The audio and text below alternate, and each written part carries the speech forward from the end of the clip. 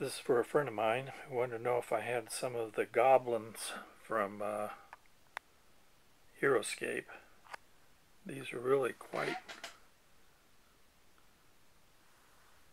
nice for pre-painted minis. I've got the super big guy, a couple of big guys and big dinosaurs, and about three of the smaller guys on smaller dinosaurs, one guy on like a battle cat,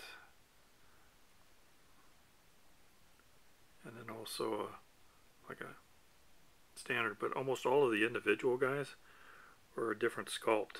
You got all these sword carrying guys,